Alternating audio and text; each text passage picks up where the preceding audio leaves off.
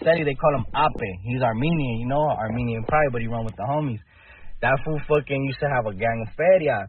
So his family used to be sending him feria, and when they wouldn't, he'll be like, hey man, they about to kill me if you don't send me 500 bones, G, but in Armenian, you know?